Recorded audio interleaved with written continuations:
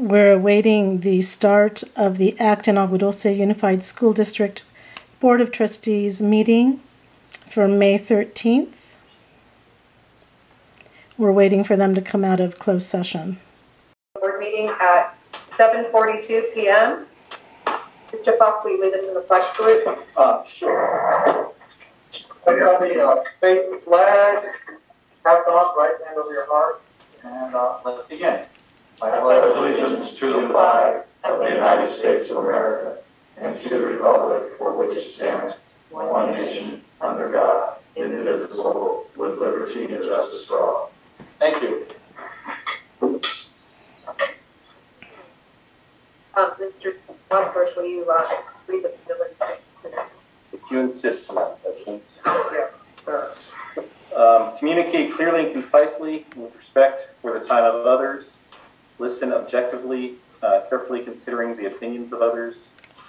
Understand the counterproductive uh, effects of disruptive, demeaning, and intimidating behaviors. Understand and respect district policies and procedures. Maintain a respect for the rich history of the district and efforts of others who have served in the past. Thank you, Mr. Wadsworth. All right, we have public comments, recognitions, and reports. So if anyone would like to speak to the board for any agenda, and agendized or non-agendized items to the superintendent prior to the meeting, no more than three minutes are allotted for any one speaker and no more than 20 on the same subject. This portion of the agenda is for comments, recognitions, and reports. To the board, it is not intended to be a question and answer period. Mr. King, do we have any public comments this evening? I think we have one, with one comment, and uh, that's Tracy this time. Okay, can we unmute this?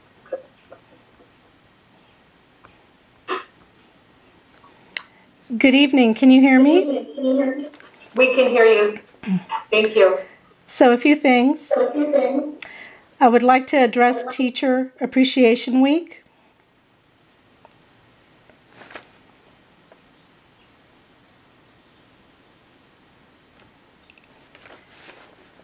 Oh, hold on, Tracy, we, we can't hear you now. Hold Okay. I apologize. Mrs. Costain, can you start again, please? Yes, please start the timer again, please.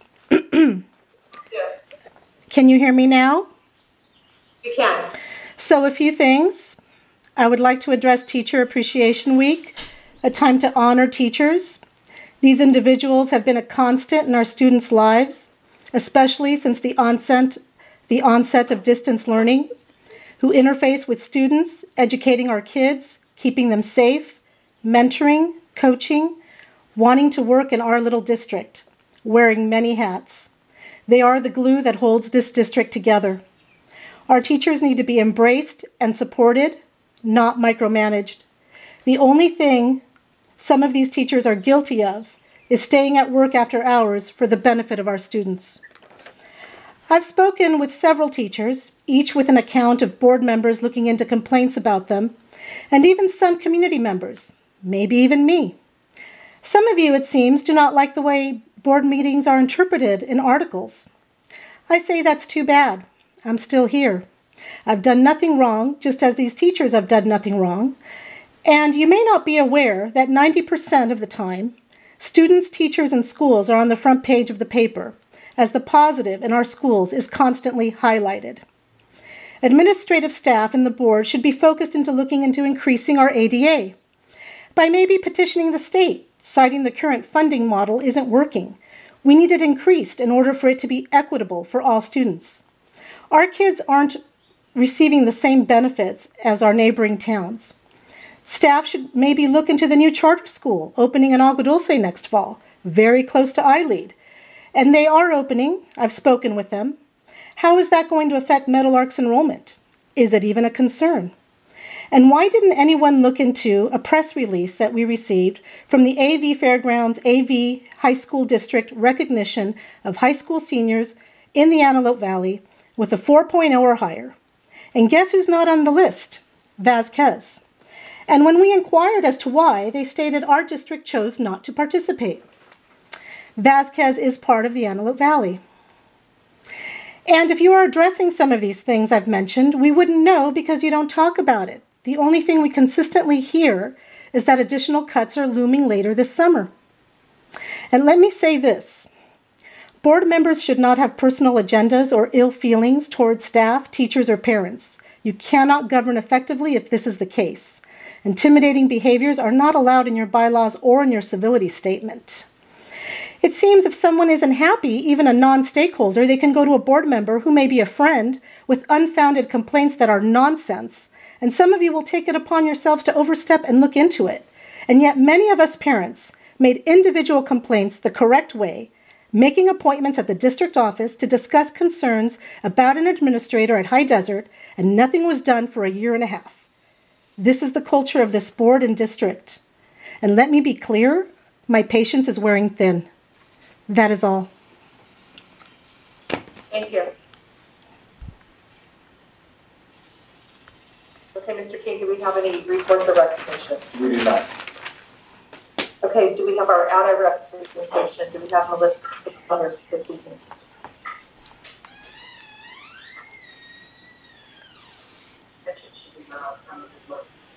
No report? Okay. Thank you. How about uh, CSEA? Do we have Cesar Ortiz? No, no. No report this evening? Okay, and then how about our student representative? Do we have him, Fairbanks?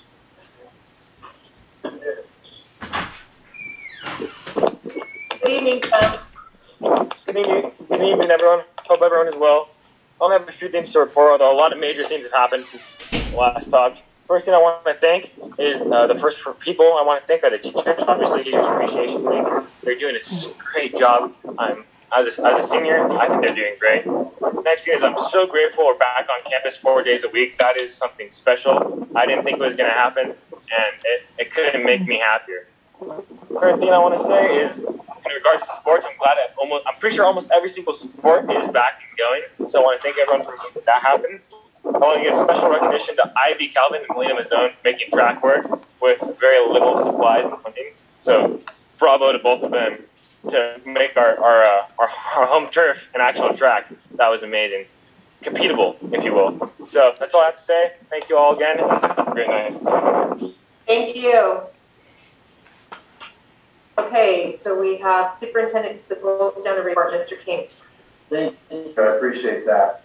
I do have, uh, two things to share this evening. First thing is, um, I'd like to start with our update on what's happening with the coronavirus, its impact on the guidelines, and where we're at.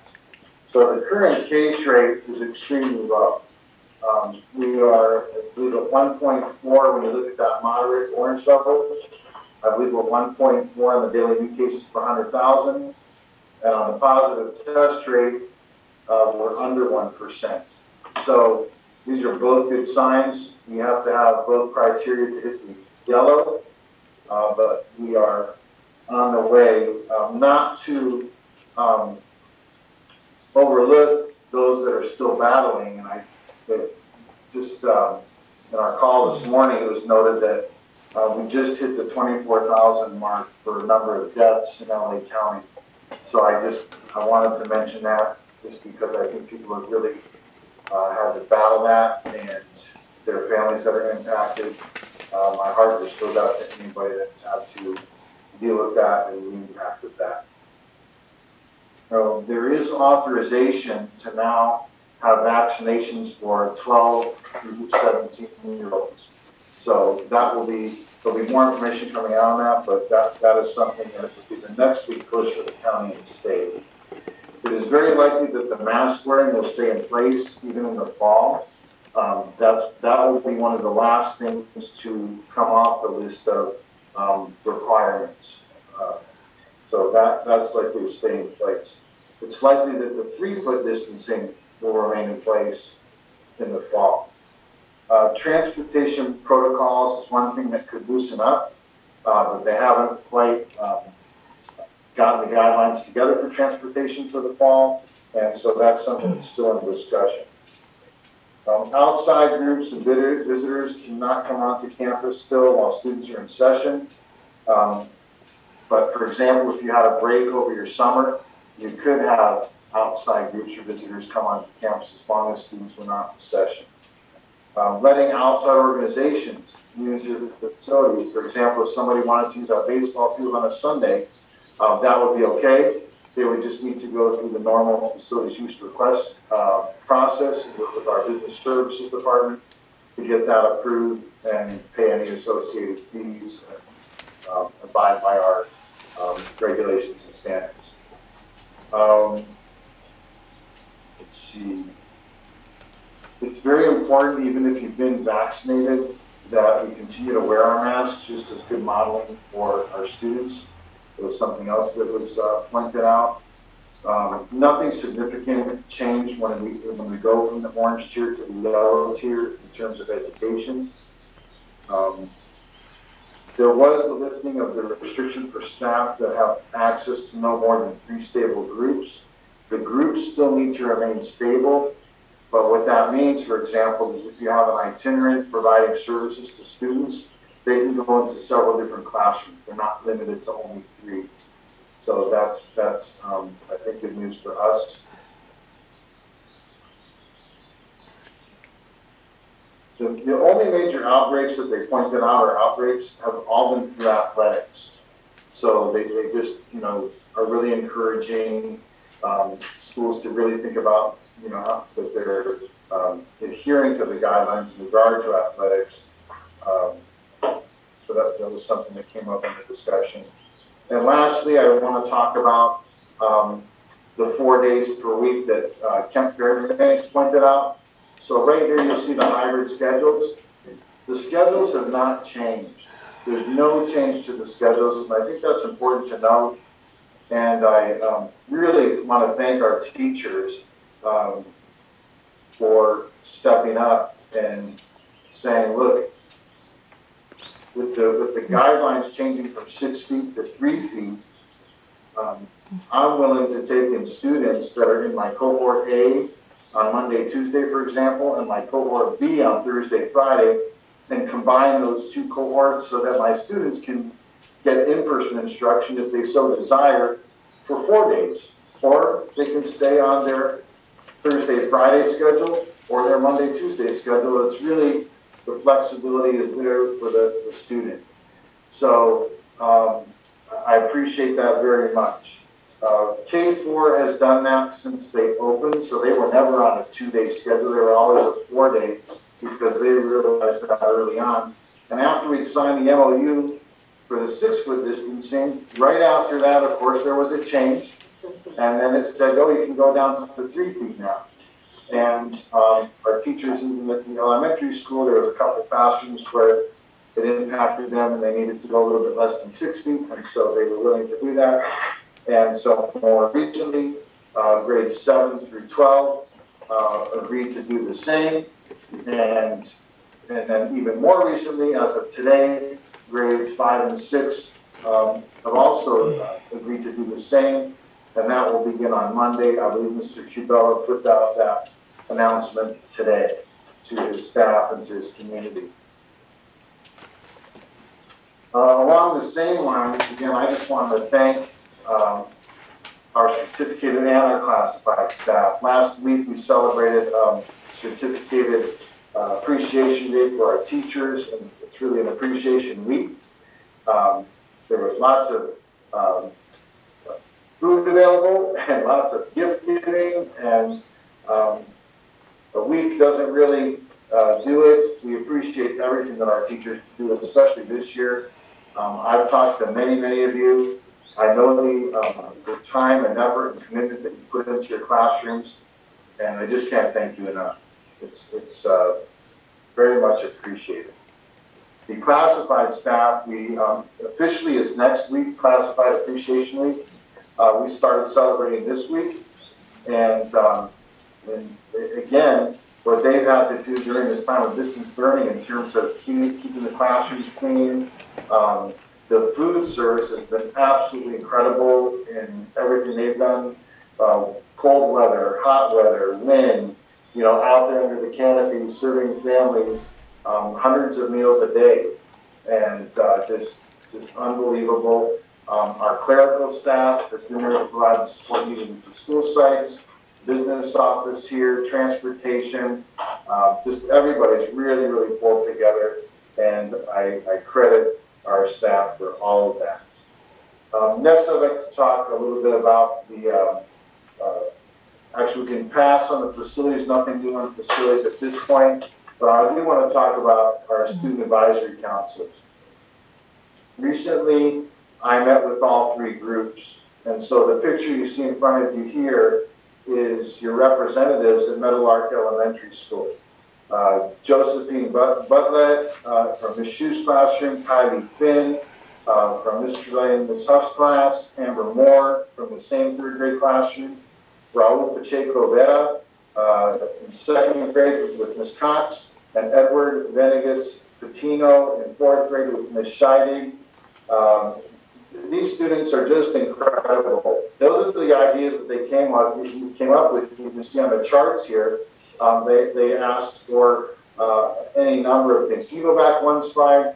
I just want to emphasize that these were things that um, that our elementary school students said. Um, here's things that we like about our school, which you see on the left and the middle chart. And then you see on the right there, one of the charts they came up for our future school. Um, and, and so they, one of the things they asked about was an art program, you can see there. Um, but the, the students said like like the music program, or something, some exposure to art. So I just think, uh, you really should be proud of our students. I know you are, but, but I, I, I wish we had some video of this. It was really just great. So, we go to the next slide. Here's some ideas that they came up with at High Desert School. Uh, this is Brandon Vasquez, an eighth grader, Lena Fox, seventh grader, Kaden Botten, sixth grader, Alexis Van Orn, fifth grader. And uh, here's those are some of the thoughts that they had shared. Um, what we value at our school, things that we think that are going well, uh, what we need to work on, what would your dream school look like? These are the same questions that uh, Kim Shaw and Hassan Mirza asked to the different stakeholder groups. And uh, when we met with DLAP, we asked the same types of questions. All this information is being put together and it'll become part of the LCAP. So uh, we really appreciate the student input here. Lastly, let's show what the high school students said. Uh, you see Kemp Fairbanks here uh, and Myra Schneider. We also have Jocelyn Monroe and Samantha Brooks. Um, and I, I, don't have their thoughts up here um, because these two represented them at the LCAP meeting. The other two students had classes and I didn't want to disrupt them. But all four of these students are just, again, uh, fabulously positive and thoughtful and uh, respectful as they share their thoughts and uh, really appreciate their, their contribution to uh, what we need to work on and what is going well. Uh, next, I'd like to talk about uh, career technical education. So we um, have a proposal for the board potentially on May 27th. We'd like to bring forward a contract. However, we're not going to bring it forward um, until we hear back from the teachers at the middle school. So we kind of moved through this progressively. First, uh, I think it was Hassan Mirza that, that knew had an attachment to this program from the previous district. Uh, he had shared it with Kim Shaw. The two of them got in touch. The name of the program is Paxton Patterson. They got in touch with the, uh, uh, the gentleman, I think his name was Judd, who, who did um, the presentation. I invited board members to attend the presentation. Our board president attended with me. Um, Alexa Lett and Nicole China attended as well. Uh, it really looks like a solid program. There's 40 plus labs that they call them where students can receive training and exposure in a variety of areas. One of the things that Ms. Jensen and I saw was um, uh, a student learning how to do CPR on a dog. Um, it was not a live dog, but it was, you know, like, just like you see uh, the, the cadavers with the people, but, uh, you know, it was a dog. Plastic rubber dog. Yeah, plastic rubber dog.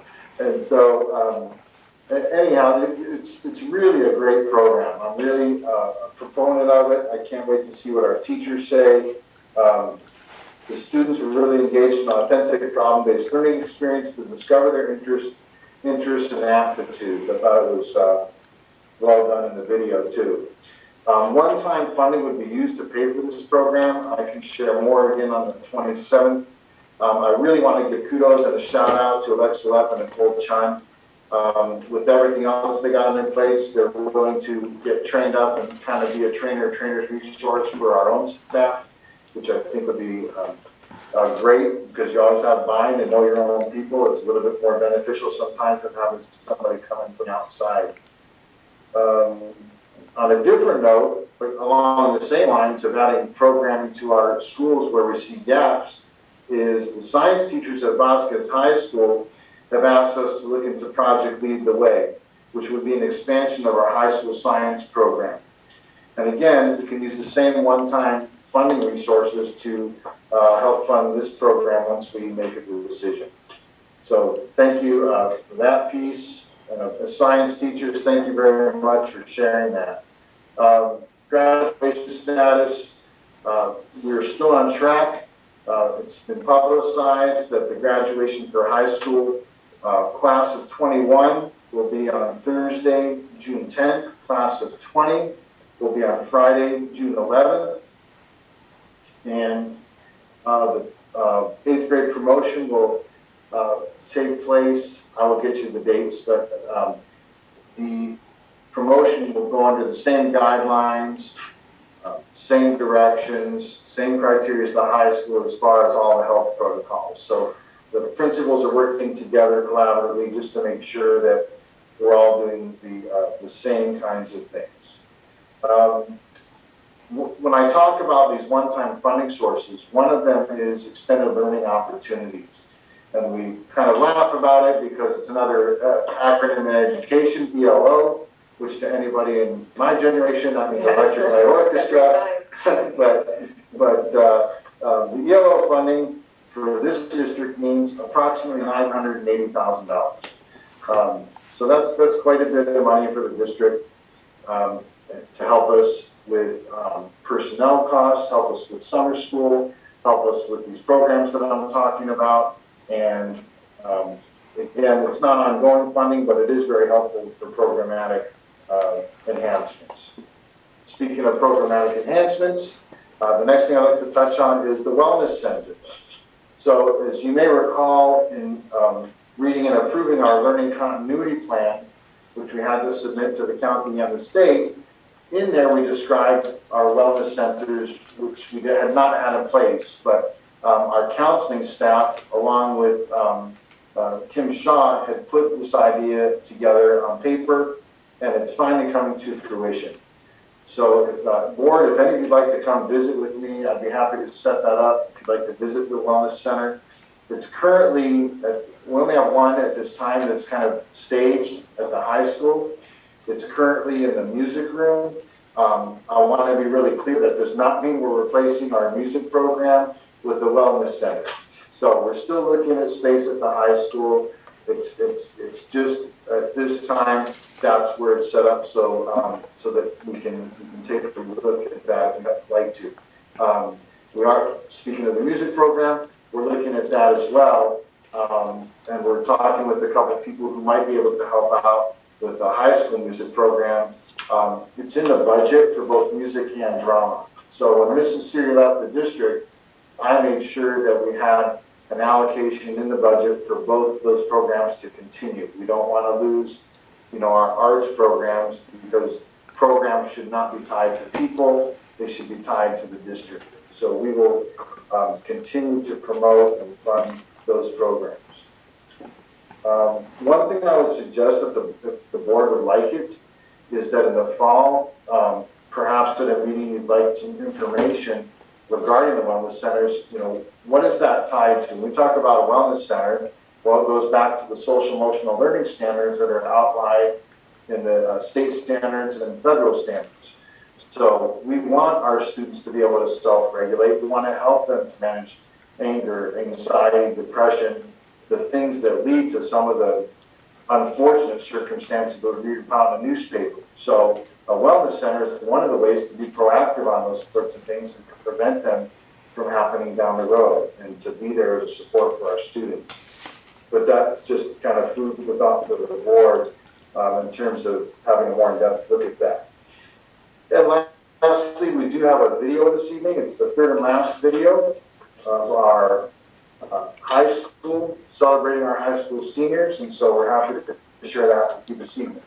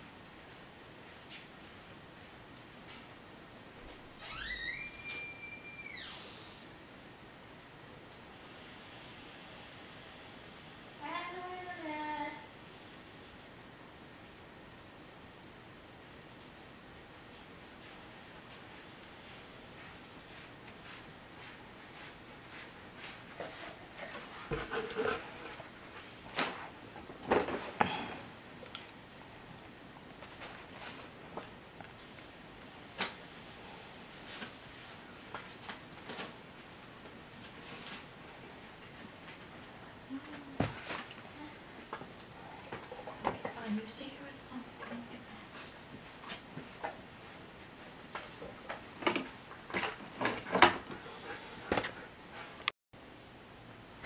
I lost internet connection, so I'm waiting to be let back in after a few minutes here.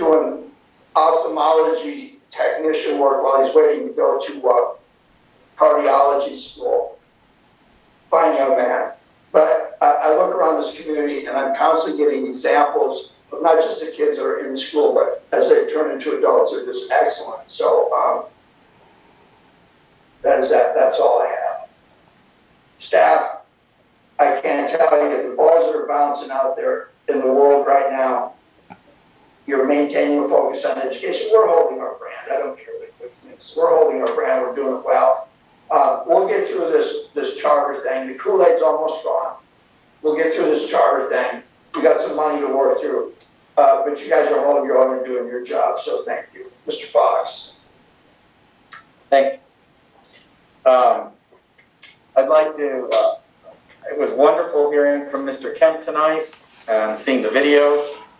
Um, all the kids back at school.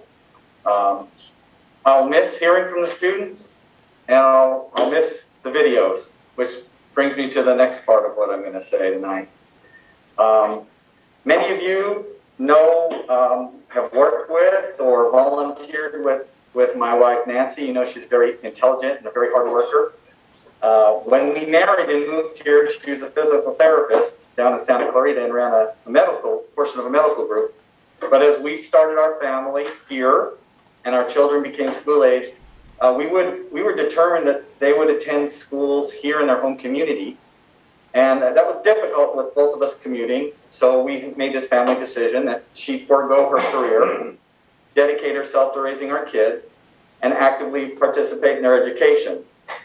Uh, she volunteered in classrooms like so many of you do, served as the ASMO secretary for a couple years like so many of you do, and ultimately went to work for the school district as part-time like many, many parents do. Uh, that was 11 years ago. Uh, I'm grateful for the choice she made. Um, more than anyone, she's responsible for the people that our kids have become. But at the moment I joined the board seven years ago, um, Nancy became precluded from materially changing her role with the district. It's state law. And 11 years, that's how long she's worked for the district in the same capacity, doing the same kinds of tasks is a long time. So tonight, I announce another, much more minor family decision that I'll resign from the board effective tomorrow so that my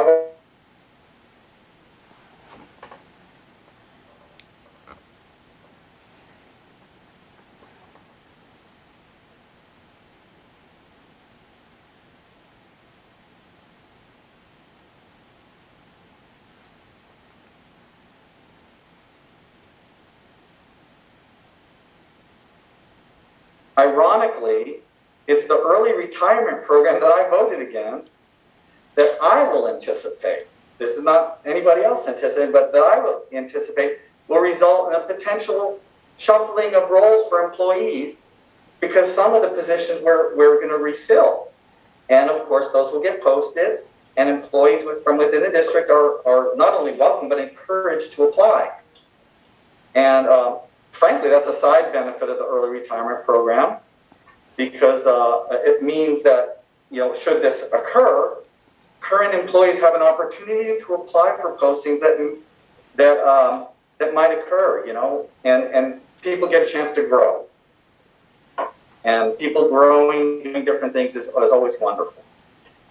So, but if I continue to sit here my wife is locked out of applying to any potential new openings for roles in the district that might be refilled or any roles in the district at all. So for our family, we're talking about the job my wife goes to every day versus the volunteer activity I perform with you all every two weeks. And when you put it that way, it kind of becomes a no-brainer as far as a, a family decision. Uh, I'm honored to have served the students, families, and staff of this district for seven years. I'm proud of my service and that of the board members I've served with, past and present. I take uh, this last opportunity to speak to the public um, to express to you that a board that largely votes together and largely approves the recommendation of staff is actually a sign of a healthy, functioning board that is united in goals and purpose. That's a good thing. It's good for students, it's good for families, it's good for staff. We definitely express ourselves very differently, but when push comes to shove and it's time to vote, if you examine the voting records, we arrive at the same conclusions and vote quite similarly. Again, this is a sign of unity of purpose and a healthy, functioning governing board. I thank you all for the opportunity to serve with you, and I thank students and parents for the opportunity to have served for you. I suspect, I hope that there are a few community members who may be interested in taking my seat. I encourage you to, to do so. It's a, it's a very rewarding endeavor. Thank you all very, very much. I will, I will miss, uh, I'll miss the kids.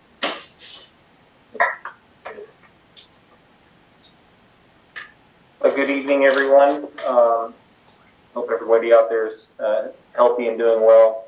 Uh, briefly, I'll touch on uh, Tracy Carlston's comments. Um, I, I, appreciate your spotlighting uh, students and teachers throughout our district.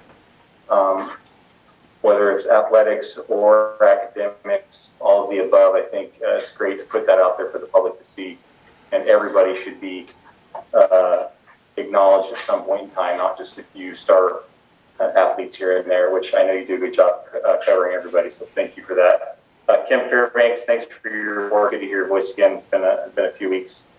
Um, thank you to the teachers that uh, all volunteered to come back to open up four days a week. Um, I know it made a big difference in a lot of students' lives. Um, I think it's a good thing. I think it's time we get our kids back into class more regularly and uh, get the, the, the, ball rolling as it is. Um, so thank you for that. Um, I'll echo um, Mr. Fallsgraff's uh, sentiments about Nick Sato, you are, are an all-star and uh, you, you are great at your job and uh, everybody here in this building appreciates you um, dearly. Um, you know, last week was kind of a weird week with a lot of uh, conversation a lot of a lot of hearsay, a lot of this, that, and the next thing going back and forth. That surprisingly, I got kind of wrapped up into on Friday night, and um, I think that, or I would like people to start realizing before they start playing the game of telephone, this person, that person, the next person, make sure that the facts are the facts, and that what you're saying is truth because I think sometimes uh, one person says something and then the next person says something else, and it does the, the truth by the time it gets into the conversation isn't really what the truth is. So I would caution the public and the people in this town that uh, you know let's use a little discretion, let let things play out before you start passing judgments. Um, I appreciate you guys paying attention and, and, and wanting to do better, but sometimes it, it doesn't always work out that way. At any rate, um, another thing I'd like to touch on is uh, if you have questions or you have a comment, everybody has an opportunity to speak here. So you can send in your uh, submittal. It'll be read. You'll have the opportunity to read it yourself. Don't be scared. Nobody here is got some ulterior motive to sabotage you or your student here on down the road. Say what you have to say, let us hear it. Let's work through the issues that you may or may not have, and let's make our environment better. This cliquish mentality that we have within this district, it's just out of control. We need to come together as a community. We need to make all of our schools the best they possibly can be, and everybody should have a voice in it. But if you don't speak up, and you just choose to sit in the background and be on a social media platform or a text platform and it never comes forward to the public, your voice is never going to be heard. So I highly suggest that everybody get involved and please submit your comments. Come on here and talk. Let's get conversation going. Let's find a common ground for everybody. With that being said, I appreciate uh, all of our teachers. Um, I'm happy to see our students back to school, and um, that's all I have for tonight. Thanks, Jim. So I want to I want to say what a great uh, pleasure it is to hear see our students getting back onto the campus four days a week at their opportunity. I was encouraged that the fifth and sixth graders are going to have that same opportunity down High Desert. I know that it's going to be uplifting for our students. They've worked hard. They've been very patient. And now they're able to get back to their campus in a measured way as we continue to move forward because it's a team effort to get this COVID thing behind us as we finish out the last quarter of the year, working up for graduation for our seniors and our past seniors, that the students can continue to grow. I know that that's not possible without a lot of hard work from the classified staff at each one of our campuses and the teachers willing to sacrifice time and effort because teachers don't, at the end of the day, don't close up shop at 4.30, 5 o'clock if they're doing extra extracurricular activities at 6 or 7 they go home and the planning continues on and the interactions and that, and planning for the next day's event. They can plan out the week, but there's always something that comes up. And so I want to send a, my former colleagues, and, and I know what it's like to be a teacher, and I really am very appreciative of your hard work and your dedication, commitment to your students to give them every opportunity. And clearly the parents, thank you for your patience. It's been frustrating for you, for sure. It's been a challenge for your students and everybody working together in that. And that's one thing I've always thought about the uniqueness of our small community and our small school. When I came here, I stayed 18 years. I never had a desire to go anywhere else because it, it was so attractive to be in a small community where the students come first. And everybody's working hard to make sure the students have opportunity, even with our limited resources and for many years, our limited facilities. And as we continue to grow and meet those needs and expanding with new things with CTE and other electives to give these all of our students an opportunity to have that high school experience that they will remember and go back to and come back 10, 15, 20 years and have a facility they can come to and visit. The, it's great to, it's always good to hear Kemp talk. I'm glad because I'm looking forward to when he, uh, that uh, trainer is yelling at him and he's going, oh my gosh, what did I do when he's back at West Point? So that's going to be something that I'll even drive back there to watch him run around there because it remind me of Superintendent King's my drill sergeant days when uh, someone's in your face all the time. So I'm appreciative of your leadership on campus, Kemp, and how you're doing it. I'm really excited about the athletic program. I drove by the when I drive by seeing the baseball team playing and I go by the freeway and I can look out and see the softball girls out there working. Soccer's having a competition, football's doing spring training. It's just really encouraging and uplifting because I know that athletics has that direct link to academic success. Our students need that resource and now they've been cooped up in their homes and I'm really glad that as the protocols relax that we've got our outdoor sports, and I'm hopeful that sooner than rather than later that we can have our indoor sports coming up so they can prepare for fall. Because we've got some really quality athletes at the middle school, and I noticed on one of the charts that one of the concerns was is athletics at the middle school. We worked hard to get it there. Now we've got to reestablish that. So the term for me for athletic is what can the people in charge do to rebuild it and make it better for fall? Use these last quarter of the school year to start setting the groundwork and the seed for how we can come back in the fall and present our winter sports and our fall sports to have uh, outstanding competition and conditioning. And uh, it can't go without being said, Nicole, that uh, extended really uh, a unique sense of admiration and appreciation for you to do your job as a counselor at the high school. It touches personally for me because my counselor at my high school at Hart High stimulated me, unbeknownst to her, for me to go ahead and get my master's degree because she did not have the attention to detail that we're your student, that you're providing for your students in your charges. But the counselor's role is unique and it's special, and, and you fill that role, and I appreciate that. I know your students do, and thank you again for your hard work. And in closing, Mike, I thank you for your many years of service for the school board. Uh, it's been hard. You brought a sense of fiscal responsibility in the discussions that me not being a math person explaining things, and I appreciate that. Uh, it's been a long time, a number of years, and so thank you very much for your service. With that, I'll turn it over to Thank Madam. President. Well, Mike, I want to also thank you. Um, you have a lot of knowledge and you're patient and you, you share some great insight and, uh, your years of service has been just, uh, just amazing. It's a hard job. It's a volunteer job that isn't easy and a lot, lot, lot of criticism and other things come with the job that you are volunteering for. So thank you so much for all you've done and I, I'm gonna miss you a lot. I'm gonna really miss you being part of this board. Um, also, I'd like to thank, um, our, our classified and teachers as we, um, we get to celebrate them over the last, uh, couple of weeks. First of all, I want to be clear that, um, as an education, as an educator, I truly do appreciate all teachers and all classified staff. If you, um, you cannot work at a school and a school cannot run without your classified staff. And students, um, cannot learn at high levels without a great teaching staff.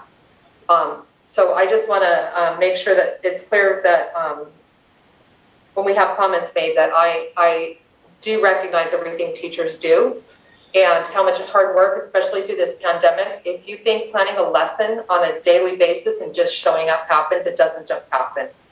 And doing it virtually is probably three, four times longer than it would take for a regular day. So teachers, I want you to know that I know how much hard work and dedication you give to this school district and your students every single day. And I, I truly appreciate all you do and, that and it's a, and it's a rough job. And so I, I thank you from the bottom of my heart, not just as a community member, board member, but just also as a, as a educator, how much I know that you're putting into this. So I appreciate you. Um, I did get to go to the, um, the visit last week and we did see a dog getting CPR. But the amount of engagement that was going on was fantastic. And I am so excited to see where, um, we can take this district and, and some great things that are, are coming in. So I'm excited for our students as well. And I appreciate our teachers that are willing to step up and take that extra training and, and be kind of a teacher of teachers. So I appreciate that. Um, I will be coming to the high school. I'm excited. I really liked that video of seeing the gym and how beautiful it looked and on um, the wellness center. So high school, I do want to come by and, and visit. And yes, you're right. A counseling job is not easy. And when we talk about branding our, our school district and we talk about, you know, ADA and money and things like that, yeah, those are hard, hard things. But when we talk about students like Kemp, who's leaving this district and going on to do some great and fabulous things. Yeah, family has a heart is a good part of that too, but so is the education that he got from this district. When we talk about former student Cody Barnes, who's working for a, an eye doctor, but he's leaving next month to go to medical school to become a doctor and was accepted and taking his sweet little new family off to be a doctor. Yeah, that's part of branding our school district. So um, you know, I think we need to t- start telling our story because we are not a district of doom and gloom. We are a district that has done some great and fabulous things with a small amount of money and a little group of people. And so um, that really hurts my heart when I hear, hear things being said that are, when everybody's giving their blood, sweat, and tears and, and, and doing such a fabulous job. So we do have a good story. We need to start telling our story. And when we have things that are in place like our gold standard that can show everybody what we can do and where we're going and have direction. That's that's an important thing to do. I love the student input.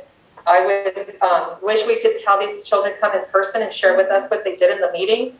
I thought their stuff was, I was trying to read it. I would like to see what they had to say off their little posters. You know, pizza on Wednesdays is great, but you know, when I hear things like an art program, um, those are really uh, great things to say. And you know, when we talk about things like our little music program down at the at Meadowlark, you know that those are not found everywhere.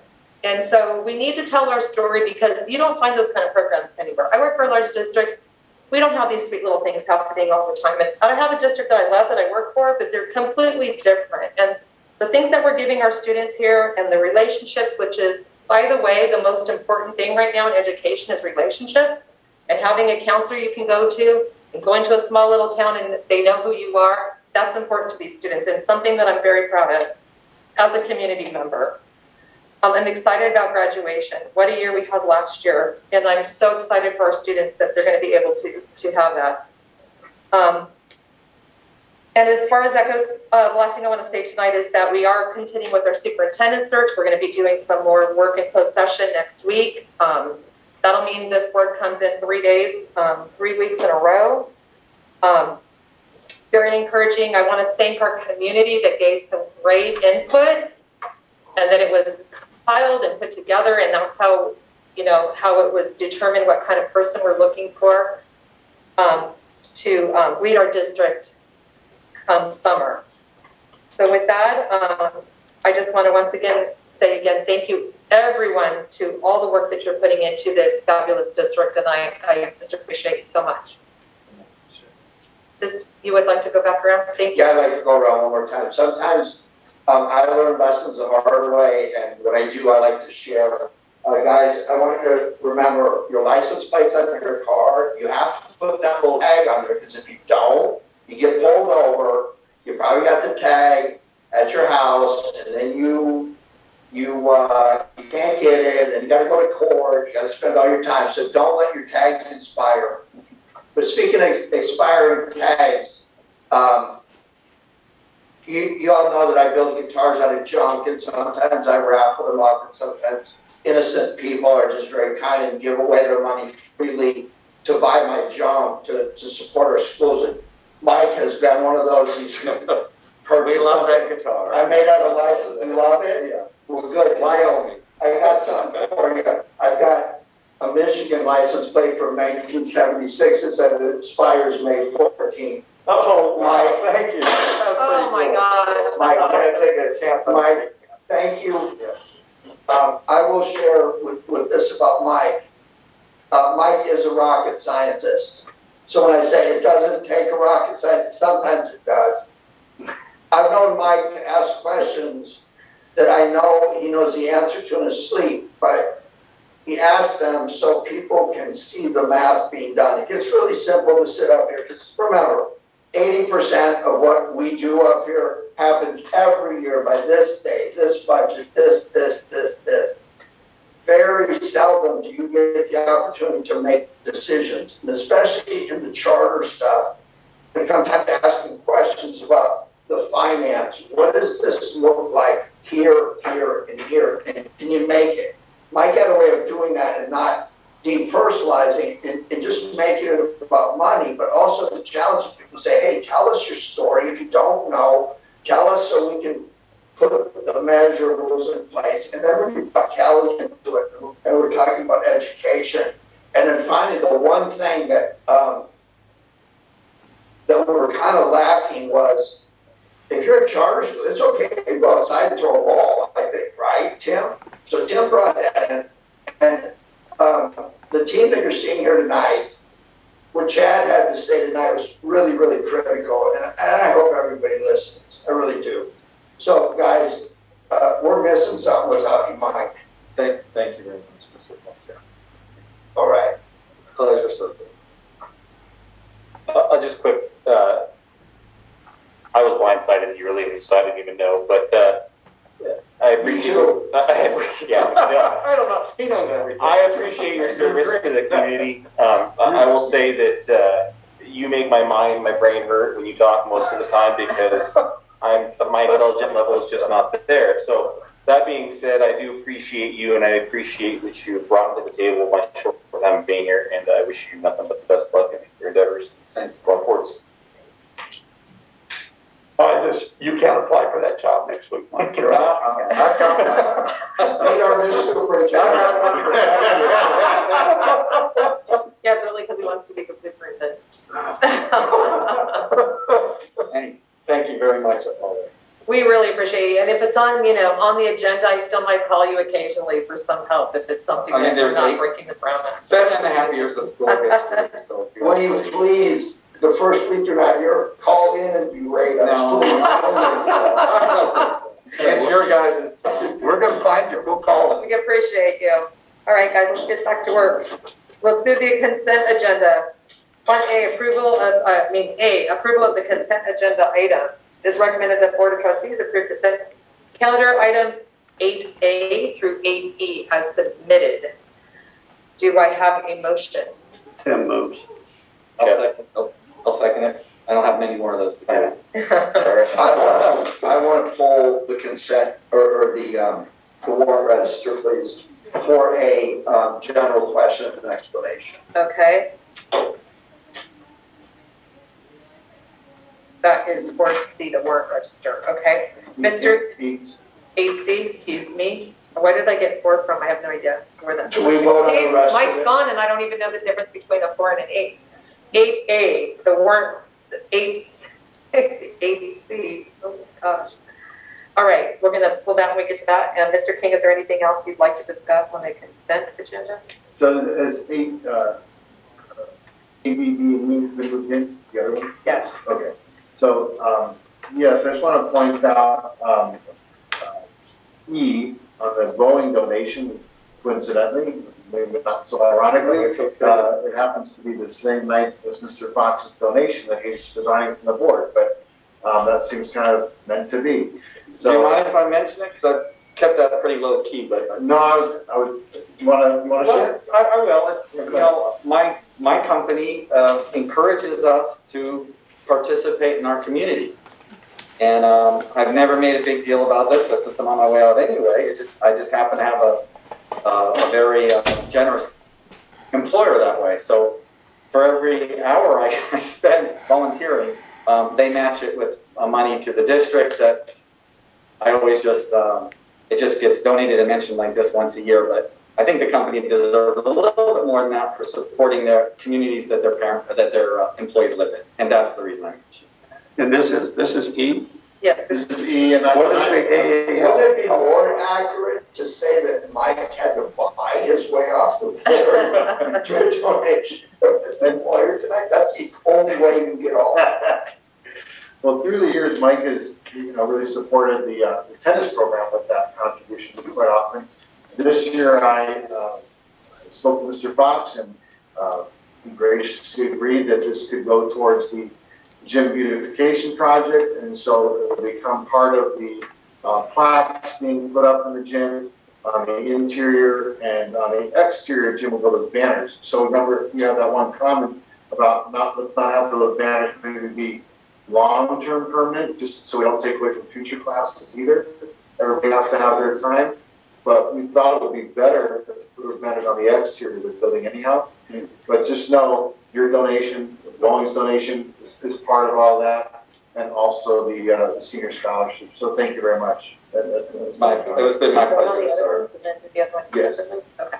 So tonight, we're gonna, now that we're moved in, we're going to, moved in A, B, D, and E. So we'll call for the vote on A, B, D, and E, and then we'll go to the work.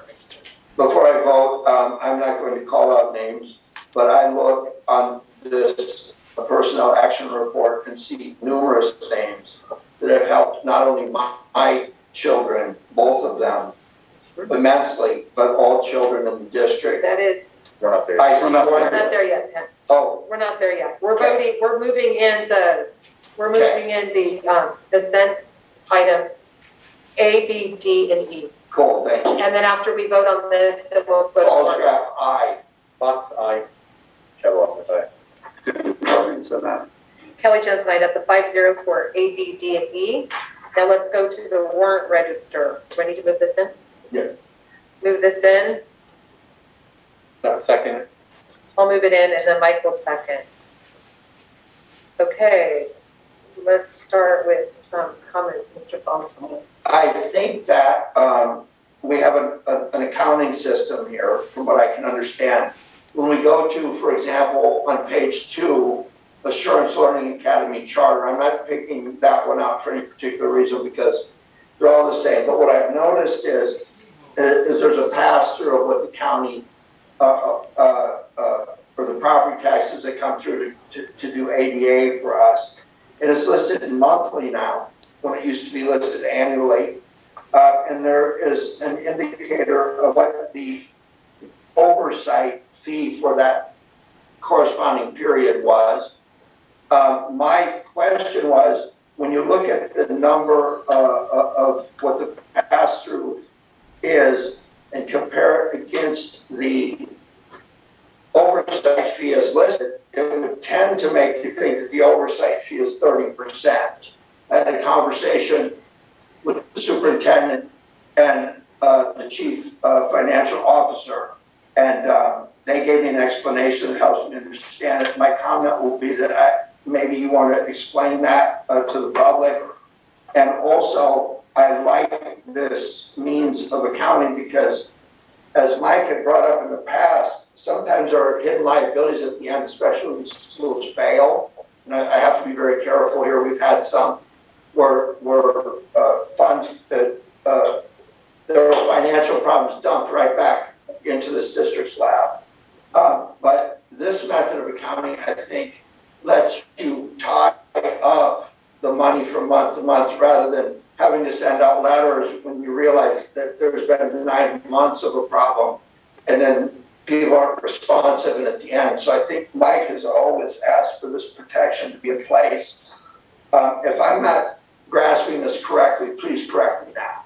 No, you're grasping it exactly correctly, and I appreciate your question, because it actually, when we had that discussion with Mr. Mercer, I'm gonna call him in just a moment, um, if you wanna prepare him.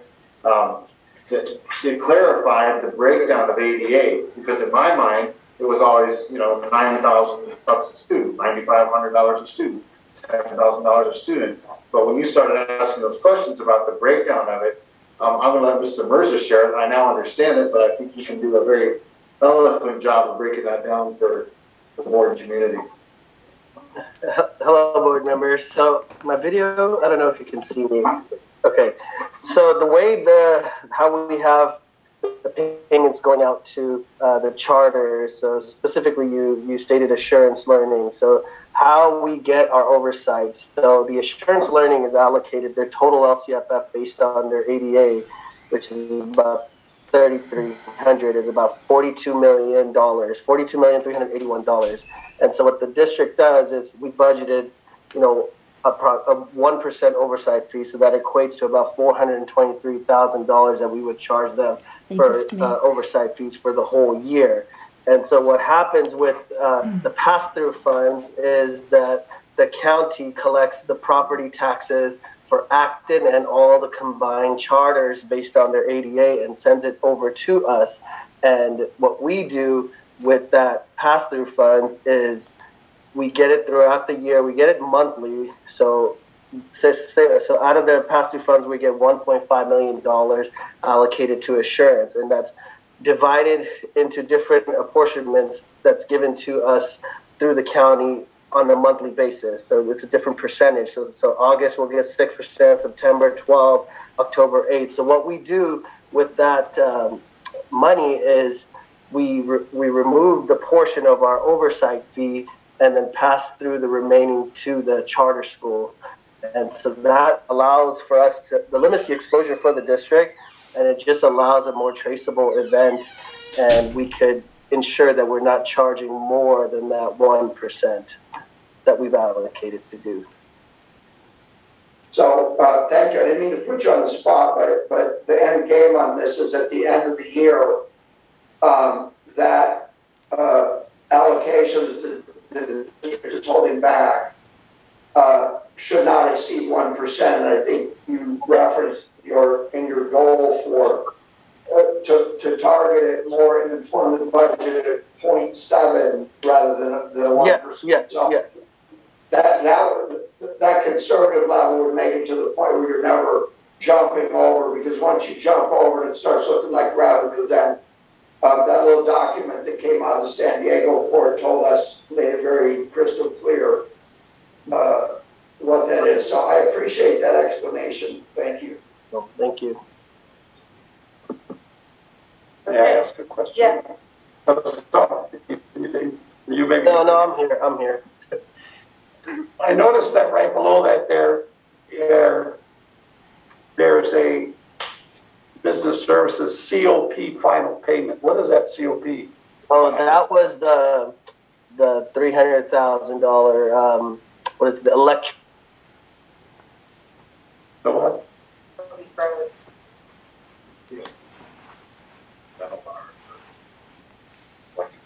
Uh, you guys kind of froze. Yeah, you froze. Say that again, please. Uh, so what's what's the total dollar amount on that, Mr. Jorgensen? Is it about three hundred thousand? Yeah, three sixty-five. Yes, so that so that was done. That was electro, the retrofit project from years Okay. ago that we had payments on, and this would complete our payment on that. Okay, thank you. No problem. Any other questions or comments? Okay, let's call for the vote on, um, eight C, the warrant register. Paul Sharp, aye. Mike Fox, aye. Chad Wadsworth, aye. Tim Jorgensen, aye. Kelly Jensen, I. So warrant register eight C passes. Um, now we're on to, um, ten A, the personnel action report, Dr. Can I get someone to move this in? Tim moves. Chad seconds. Hey, uh, Mr. King, do you have any? Yeah, just a quick comment before I take questions, comments from the board. This is the uh, addendum one, so I want to just notate the two changes to it. One is under employee name for resignation classified employee at the second table. Jessica Baker uh, is not uh, DH, it's DHS, not High Desert. Other way around, sorry. High Desert, not VHS, thank you. So, um, and then on the last, uh, you see at the bottom there of the same table, we should have, have one more name on there, that'll be Samantha McConnell, uh, resigning as school secretary at High Desert. Um, other than that, let me just go back to the top here, resignation of certificated employees. Uh, I want to acknowledge Gail Martin, longtime special education teacher at Meadowlark. Um, I saw her on this, uh, Zoom call earlier, I'm not sure if she's still on. But Ms. Martin, I appreciate all you've done for our students with special needs. Um, you've been a committed teacher for many years. I wish you all the best moving on. And, uh, congratulations on your decision, on your new journey. And, um, and, and then Ms. Trevelyan uh, has also been with the district for uh, a long time as well. Um, see her effective date of June 30th. Ms. Trevelyan, I wish you well. Thank you for all your years of service. Uh, appreciate everything that you brought to the district. And um, she's, she's been a third grade teacher, she's taught many years with Ms. Huff. So thank you, Mr. Trevelyan. And I wish you all the best, wish you well. We have some common ties at Lake Arrowhead and sometimes run into uh, uh, former colleagues of mine or community members from there that I know. So uh, all. Hope you get to spend a lot of time Lake Arrowhead. And uh, Ms. Hickman, uh, same thing for you. Congratulations on your decision. And uh, again, wishing you uh, all the best. And uh, thank you for your service. But there's many classified employees on here. Um, I'm just going to say their names because I feel they all need to be acknowledged. Jessica Baker, Pamela Koopman, uh, Julie Rouse in payroll, Glenn uh, Williamson, our custodian, um, bus driver Patricia Zamudio, Rachel Aguilar, longtime special education, special and instructional aide. We know her as our bilingual aide because of all the work she's done to help us out with DLAC and ELAC and reclassification and testing with students. Alma Carson, I'm always guaranteed to get a hug from Alma in the cafeteria at Meadowlark. Um, she has a smile that never quits. And Samantha McConnell, our school secretary at High Desert, you've done a tremendous job in the four years I've uh, seen you serve our district in that capacity. To all of you, um, you work with special needs students. Julie, you uh, work with me every day in the business office over here in the central office. I just wish all of you the very, very best. Um, these are new journeys for each of you, and you've done a, you have a terrific career behind you, and you're on to uh, new and different. So thank you for your service. Appreciate you very much. Under uh, resignation of classified management, you'll see Paulette Buchner, Lucy Tone. Um, all that, we saw her walking out of here this evening, which is not unusual, just a short time ago when the board meeting was starting at 6.30. And food services for this year has been a daunting task. Um, so I want to really thank Paulette for everything she's done for this district in terms of food service.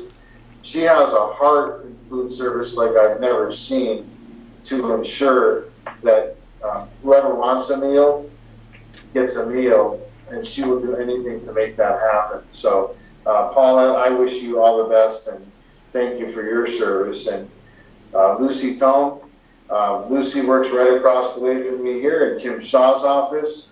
Um, I think she's one of our um, most senior classified employees, uh, confidential management employees. She's been with the district, if I'm not mistaken, is it 30 years, Yolanda? 30 plus years. So, uh, wishing her all the best on, on her journey moving forward. Um, she, has been uh, quite an asset to the district in her work with uh, human resources and also helps manage the SAFE system for special education. So you can see for yourself the current positions that are open. I don't need to read those. I just thank you, uh, Madam President, for the time to acknowledge these people. Thank you so much. Ken, you have something? Okay, I'll carry on. There's a, uh, there are some people here um, that Ms. Trevelyan you're one of those people, when I walked in the door, you could see what I was like when I was seven or eight years old, and that that there was just this immediate understanding we won't have that type of false graph behavior in the classroom. Gail, you know what you've done for Tammy. Um, Ms. Koopman, um, yeah, you know what you've done for Tammy. Julie Rouse, if anyone knows, I, I, I love Julie Rouse because she buys the best cars. She buys the most informed cars because her car automatically knows how to get to the parking lot very first thing and leave at the end of the day. She's one of the employees that's day in, day out, year after year. Julie, never any noise out of you. I don't know how we're gonna get our payroll done now. There are other people on here, Rachel Aguilar, um, you know how I am about Title I kids. Um, our program would not be what it is without you. They're just Alma. Yeah, um, I do know that Alma would abandon her job so Tammy could play the piano every once in a while. I hope you didn't reprimand her for that. Guys, uh, Lucy Tall, I wish I had a dollar for every superintendent you've outlived because I would be a very rich person. Uh, Paulette, you're the best. You're the best. Making sure that people uh, what I remember most about you, what I'll always remember most about you, is you were able to find more people that needed help, and you protected their dignity. That that is the most important thing to me. Um, some of these uh, secretaries that are leaving, good luck to you. I'm, I'm glad Shiloh is where she is. Um, that's all I have, Mike. Thank you um, for the employees uh, leaving. Thank you for your service. For those retiring, I, I hope you enjoy the next phase of your life. Uh, many of those names um, help help raise our kids, so um, always appreciative to you. Thank you. Uh, short and sweet for me. Uh, thank you guys all for your service to the community and our district. I appreciate it. I wish I got to know uh, more of you on a personal level, but uh, uh, just want to say thanks for, for being here over all the years you've been here. Thank you. Well, it, it's, sad, but then it's exciting to see some here. Gail and Jean and Lori and the certificated had the opportunity to work with many of you over the years and your commitment to the students and always working together with the rest of the teachers. Uh, I look at the classified. Uh, Ms. Copeland goes back way before I even have a connection to high school. I went to uh, high school with uh, either her brother-in-law or, you know, I had her kids in my class and I would tell them stories about high school that their uncle went to school with me. So there was a lot of connection. Julie up, it's exactly right. Julie moving around the site, starting at the high school. We had some uh, exciting times when she was uh, principal secretary down at the high school. We were still working through the challenges. Of course, maintenance, go ahead at maintenance, and then there's Rachel, and there's just so many that I got to work with over my 18 years, got to see, got to know. And it's just, it's unbelievable the commitment that they have for our students. Paulette, being around for numbers and numbers of years, I saw her going out the parking lot when I came in, and I asked her, I said, why are you leaving so early? And she just kind of smiled. And she said, well, I got things to do. And I said, well, park that car right here, get back to work. But just one of those ladies that works hand and foot all the time getting things done. The food service over the pandemic and the summer was just exceptional. And Lucy, uh, you know, I got to rat you out, Lucy. That hairdo you had when you were Jerry Watkins secretary at High Desert. Uh, when I was dean of students at the high school, Jerry was off campus. And she called and said, "Tim, I need your help. You got to come over here and talk to this guy." One of the one of the one of the boys over there was misbehaving. So I go over there. Julie's in that fun school day where she had her hair all tied up and she was just directly involved in all the student activities. And I walked in and I thought I was back at the high school music course. I go, "Who's this?" This is uh, Mrs. Lucy. So totally committed to the kids, tremendous amount of fun. And uh, I, you're going to enjoy retirement. Those of you that are going to retire, you're going to move on to another career. I wish you the best. And thank you very, very much for your commitment to the students in the district. Just uh, congratulations, and I hope you really enjoy your retirement. Um, some of you, um, you know who you are. Um, you were your kids hung out with my kids, and so here we are in the next phase of our lives. And your kids are fabulous, and I hope you're enjoying your kids and your grandkids. Um, Yes, Paulette did just leave, and I'm sure she's going to look forward after the year that she's had doing food services, waking up whenever she wants and not to an early alarm to, um, if you guys know food services, they wake up very early and do a lot. And I hope, Lucy, you enjoy uh, crafting, because I hear that you've become quite a crafter over the last few months, so I hope you enjoy that. But best of luck to all of you, and thank you for all you've done to serve our students and our families and, and represent our community, and we uh, appreciate you from the bottom of our hearts. That, let's call for the vote. Well, Mr. Bosgraff is out, so we'll start with Fox, you. aye. Chad Wadsworth, aye. Tim Jorgensen, I. Kelly Jensen, aye. That's a four zero with Mr. Bosgraff absent this time. All right, next we go to ten B, the 2021-22 school calendar. Can I get a motion to move this in? So, Chad second?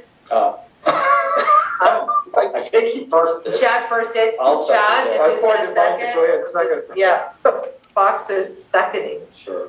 that's a word. And then, um, Mr. King, do you have any comments to make? Just real quick, I want to thank the association, you know, we negotiate the counter with our teachers association. So I want to thank the teachers association and our, our uh, district team for getting together. It's been like nonstop negotiations, as you know, and the calendar got, that can got kind of kicked down the road because there was the priority of taking care of the distance learning, the hybrid model, all these other things uh, to get negotiated. And the calendar, just so everybody understands, both public and the board, the format is pretty stable at this point. So this is the format, we're not moving it back a week, we're not moving it up a week. This- So if you're planning future vacations and so on, it's a very similar format each year. So you see the pre-service days on August 19th and twentieth. Pre-service for new teachers are uh, August eighteenth. Your PD day is November first and everything else is color coded. If you have any questions about it, um, Kim Shaw was the chief negotiator, of course, on this, and uh, we're here to answer any questions you might have. Any questions? I have a question, um, just for the public's knowledge, because there's not a lot of talk about it this week. Uh, the intent is to go back to school normal hours, the new school year, right, or is it gonna still be a half day, Yeah, four day deal? I mean, that would definitely be our intent, however, until the, um, the guidelines are solidified for the fall, um, you can't, you know, say for certain So we're waiting on the state to dictate and the county to dictate when we Right. can, and we cannot go to school. And so at that point, we'll still be on the four-day model right now that we're at now, unless we get that, go ahead to gear up to five days. Correct. Okay. And is there, so say we start at four days and then all of a sudden the state opens up? What's the timeline in between the state saying, okay, it's green light, let's go back to school? And is there negotiations that are gonna be involved with teachers or at that point it's kind of like, okay, we're back in it? Yeah, I mean, conceivably, even with the current guidelines, we can change the model. I mean, the model could be a five-day model, but, but that would involve bargaining. So any, any veering off of the current hybrid model would involve negotiating, uh. Thank you for answering my Of question. course. Any other questions or comments? Thank you for all your work on this. Appreciate it. Okay, so let's call the, call the vote. Call for the vote. Walsh, aye. Fox, aye. Chad Wadsworth, aye. And Tim Jorgensen is missing at this point. Kelly Jensen, I, that's a four zero. Okay, we're gonna go on to eleven A, drinking, baths, fountains retrofit.